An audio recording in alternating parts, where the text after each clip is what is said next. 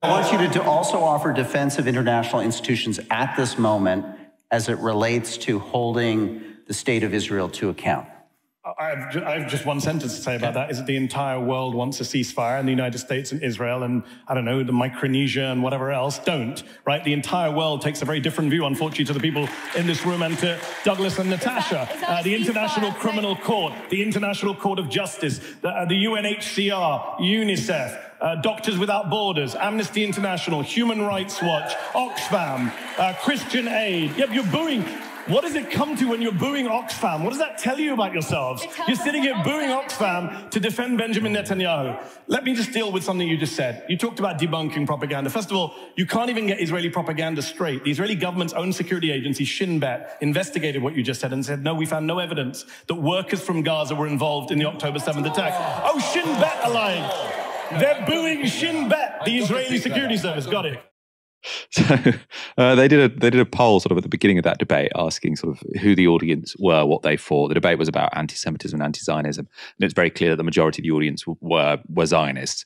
Um, and this is something I think we've come to see over and over again since October the seventh, which is the moment an institution criticizes Israel or sort of says what it's doing in in, in Gaza is, is horrific and many innocent people are dying and uh, they're struggling to get food in there, people try and sort of delegitimize the institution. There is no reason why a Jewish state should not be able to live side by side with another Arab Palestinian state. Okay?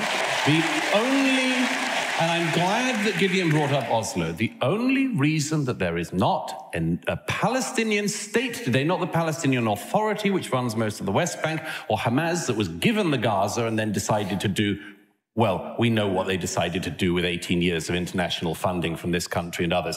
Not that, but if they were given another state, there is no reason, if they brought their children up to love life and to live by their neighbors, if they educated their children into learning instead of hate, there is no reason why they could not live in a state beside a Jewish state. And there's no reason why Zionism opposes that. And it doesn't.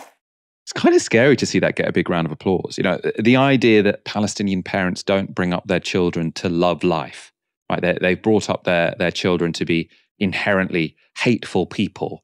And that's why um, this genocidal war against them is essentially justified. I mean, that seems to be what Douglas Murray is suggesting, right? He denies a genocidal war, of course. But the idea that the, the only reason there hasn't been peace in the Middle East is not because uh, the Israelis have a stated aim of settling uh, the entirety of Greater Israel. Like that's literally what the Prime Minister of Israel says he wants when he holds up maps at the UN, which says Israel and it's all the territory, including Palestine, right? No, he's completely blind to that. Oh, no, Israel really want a two state solution. The only problem is that the Palestinians uh, raised their kids to hate life. Well, if we're paying special attention to the victims of a political project or movement, that would surely be the Palestinians. Now, unfortunately, there weren't any Palestinians on that panel, but the Israeli journalist Gideon Levy spoke with some real passion on how Palestinians grow up to think about Zionism.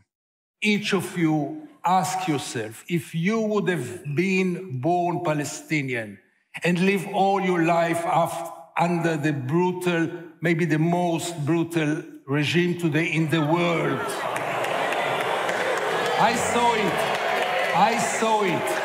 Offbeat When you your would wake up in the morning and see your parents beaten and go to sleep at night and troops will come to your home and kidnap your father or your mother in front of your eyes on a daily basis and I know what I'm talking about. Don't tell me about facts, yeah? What do you think you would have felt toward the people who does it to you? What do you think? It has nothing to do with education system. They don't need education system to hate us. we make them hating us. It's a really, really strong, powerful response to basically what Douglas Murray was saying, right? They raise their kids to hate life. No, their kids grow up in a situation where they're denied basic rights by a neighboring country where the only time they see Israelis is when there's sort of security people pointing guns at them or kicking them out of their homes, right? You don't have to teach people like that to hate Israel. They're going to learn that from their experience of having guns pointed at them and their homes knocked down.